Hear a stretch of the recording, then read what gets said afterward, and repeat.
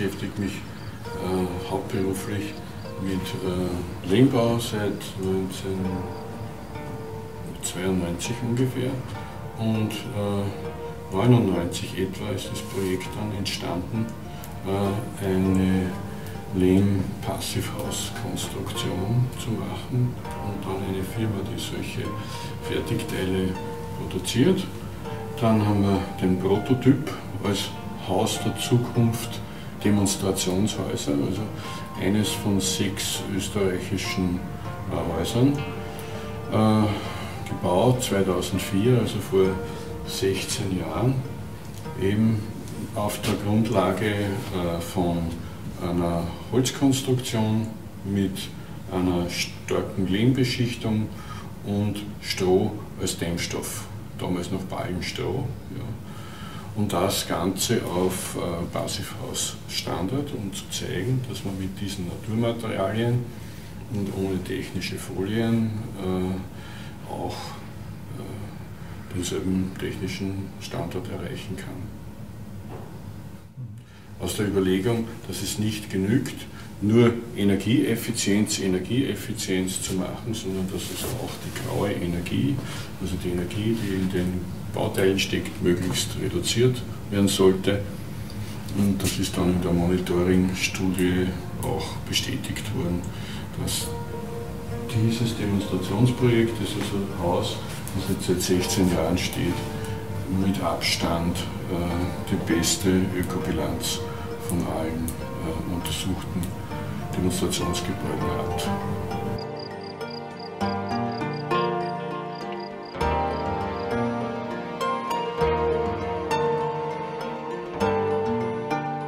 Also das ist äh, der Aufbau einer Lopas Außenwand äh, mit einer dicken Beschichtung von äh, 4,5 cm Lehmputz, wobei 4 cm bereits im Werk aufgebracht werden und dann ein halber Zentimeter auf der Baustelle als Feinputz.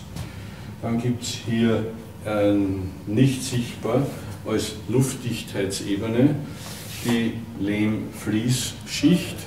Das ist eine Technik, die ich auch 2003 entwickelt habe und von der Holzforschung Austria getestet wurde.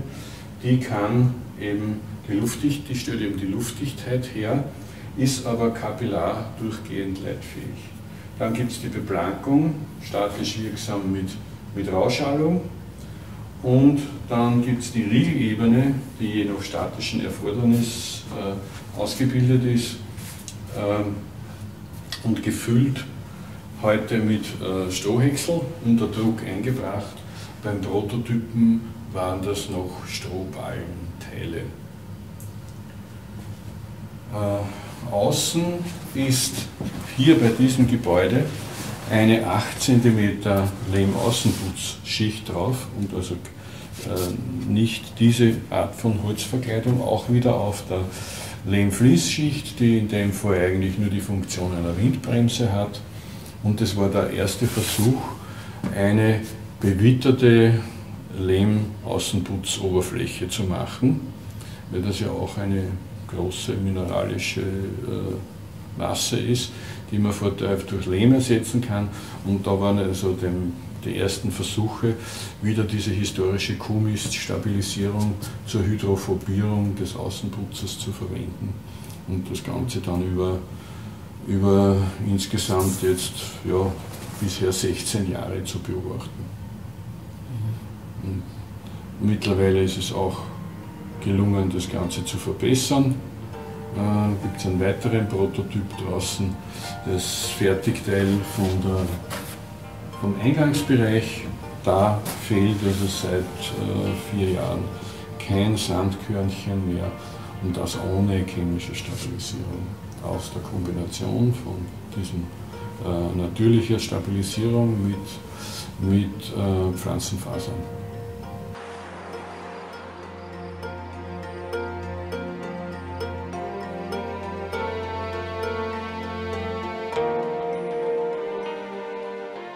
Ihr habt jetzt im Haus ähm, 40 äh, Wandaufbau, also 40 äh, Zentimeter. 55. 55 Also 40 Stroh, ne? Also 40 cm Dämmstärke, ja. Mhm.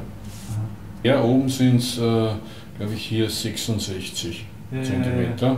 Und unten sind es auch mehr. Und hier sind es auch diese 40. Also wir, äh, das 40 plus Schafwolle, ne? Oder? Äh, nein, es ist, es, ist, äh, es ist im Prinzip ein Außenwandelement und die Fußboden Polsterholzebene ist mit Schafwolle zusätzlich gedämmt, hauptsächlich aus akustischen Gründen. Ja, warum wurde in den Dachfertigteilen mehr gedämmt?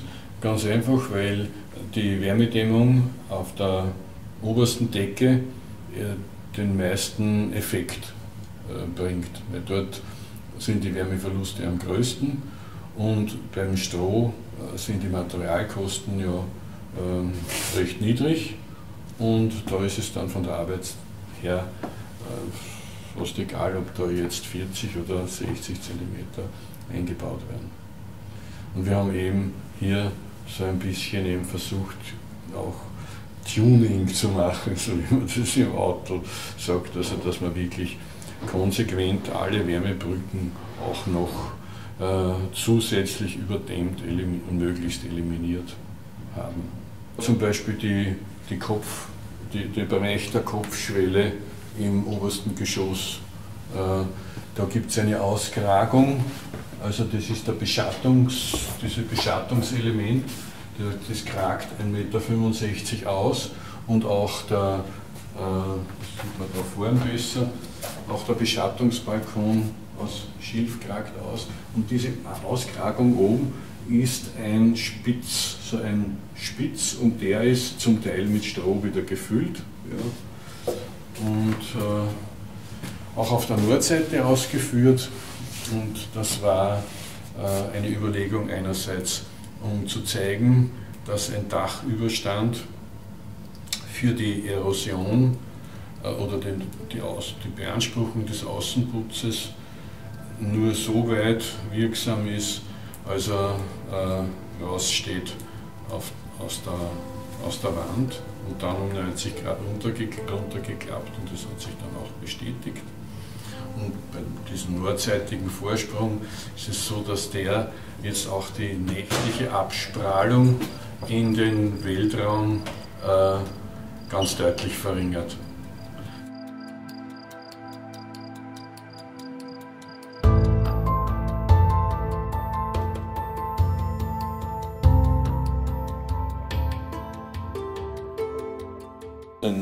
Ein eindrucksvolles Beispiel war die für die Wiederverwendbarkeit von Lehmbaustoff äh, war ein BOKU-Lehrgang äh, mit äh, Studenten und wir, da wurde in der Nähe vom Museumsdorf Niedersulz leider ein 300 Jahre altes Lehmhaus abgetragen und wir konnten da unter anderem auch eine Fläche von Lehmputz abnehmen, die also ganz offensichtlich aus dem Bauzeitpunkt war, haben die dann in unserem Versuchsmauerwänden wieder aufgeputzt, also eingeweicht und Lehmputz draus gemacht, wieder aufgeputzt und siehe da, nach 300 Jahren hat er wieder genau die gleiche Eigenschaft gehabt, ohne Veränderung. Wir haben ihn dann als, als zum Teil in Sicht, zum Teil als Unterputz für einen modernen Lehmputz verwendet, aber das ging ganz problemlos. Diese äh, Quaderstock-Lehmziegelmauer äh, stammt aus dem Abbruch eines alten Lehmhauses im Weinviertel. Äh, es ist ziemlich genau äh, das Alter bekannt mit 250 Jahre. Ja. Und auch das Stroh, das da in den Quaderstock Lehmziegeln drinnen ist, ist so frisch wie vom vorigen Jahr, obwohl das 250 Jahre in einer Außenwand eingebaut war. Wurde mit Lehm-Fertigmörtel wieder neu aufgemauert und ist insgesamt eben auch ein Zeichen für die Wiederverwendbarkeit von Lehmbaustoffen. In, in Deutschland sagt man ja Lehmsteine. Ja. Korrekt ist es, wie heißt es, Lehmquader. heißen die. Und im, im, im regionalen Dialekt Quaderstock. Okay. Zum Unterschied von den normalen Lehmziegeln. Die wurden also bis Mitte 19. Jahrhundert äh, hat man diese Ziegel handgeschlagen, meistens am, am eigenen Hof in den Dörfern. Und auch die Konstruktion hier ist eine historische, lasttragende Pfostenstock-Bauweise. Und diese, dieser Tür, diese Art des Türstocks ist einfach genial gewesen. Die hat man so eingebaut und, und damit war es gleichzeitig Überlager und äh, fertig. Super, ja. Und drüber hat sich dann ein Scheingewölbe ergeben.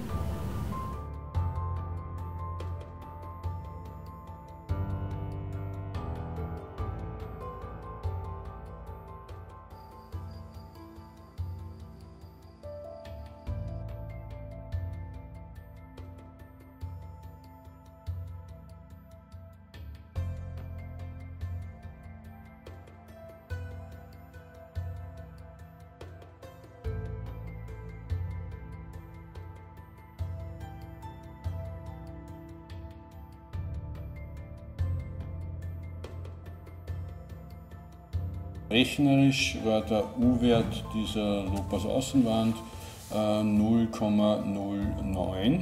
Ja. Und ähm, dann gab es das Monitoring-Projekt, wo also der tatsächliche Heizenergieverbrauch gemessen wurde. Und statt der, äh, nach dem Passivhaus, äh, na, wie heißt das? Passivhaus Planungspaket äh, wären es rechnerisch 14 Kilowattstunden pro Quadratmeter und Jahr an Heizwärmebedarf gewesen.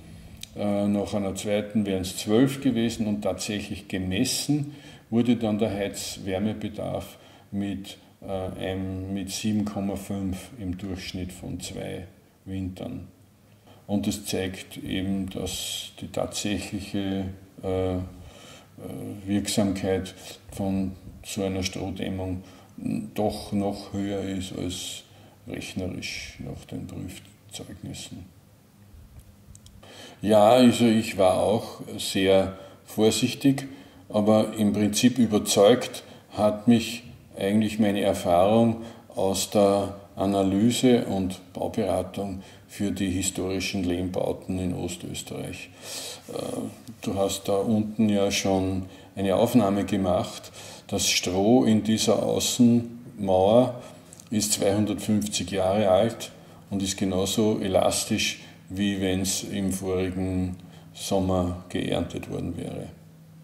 Also man muss eben, wie bei jeder Konstruktion und bei jedem Haus darauf achten, egal aus welchem Material es gebaut ist, dass es weder von unten nass wird, noch von oben nass wird. Und wenn das einwandfrei gebaut ist, dann hält das Stroh sozusagen ewig. Ja, und wenn man es schlecht verarbeitet, dann wird jedes Material kaputt.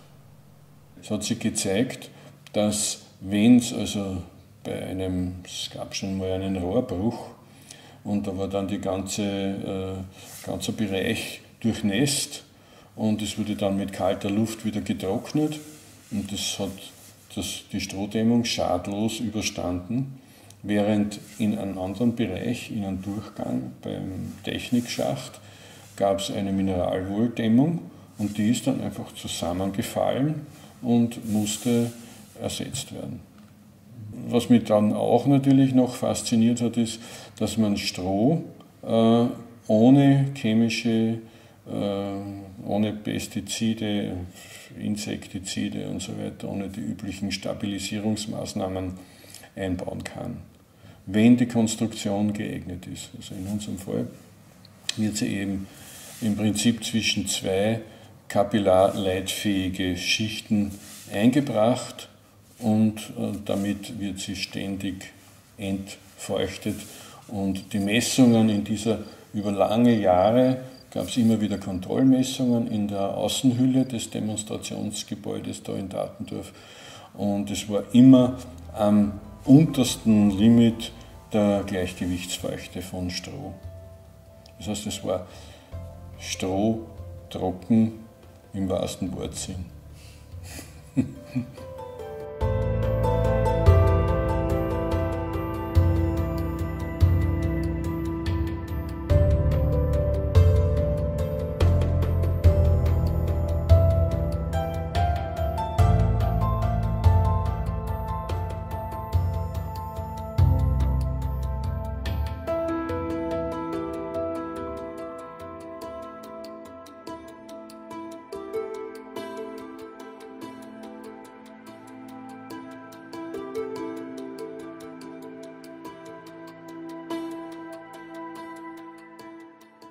Beim Strohballenbau ist es natürlich ein größeres Risiko, wenn die Ballen auf der Baustelle lagern und dann kommt so wie gestern ein Sturm und reißt die Optikern runter und das Ganze wird nass und dann wird es doch äh, und dann wird es doch vielleicht feucht eingebaut. Das kann natürlich zu Problemen führen. Aber das ist der Vorteil der Vorfertigung in der Halle wo man alles also entsprechend dem Zertifizierungsprogramm halt unter Kontrolle hat. Das fängt bei der Ernte an und äh, ja, endet eigentlich bei der Montage. Das ist eben der Vorteil der Fertigteilbauweise, dass man das alles im Trockenen und unter kontrollierten Bedingungen machen kann. Und die Montage ist ja, wie du sagst, also in, für ein Einfamilienhaus in drei Tagen erledigt. Und dieses Haus hier äh, mit 320 Quadratmeter Nutzfläche ist von Montag früh äh, bis Freitagnachmittag aufgestellt worden. Danach kommt dann der Innenputz, dann der Innenausbau. Damals waren die Fenster noch nicht eingebaut, aber danach eben, das war im Herbst 2004, nachdem dann die Fenster drinnen waren, hat man in aller Ruhe und frostgeschützt den Innenausbau machen können. Weil eben durch den Passivhausstandard äh, kommt es dann, wird es gar nicht so kalt. Also wenn dieses Haus äh, zwischen Weihnachten und über Dreikönig mehr als 14 Tage leer steht, ist es noch nie kälter als 12 Grad geworden drinnen. Das ist aber allgemein äh, Passivhaus-Eigenschaft. Das ist also jetzt nichts Spezielles, was mit Lehm und Stroh zu tun hätte.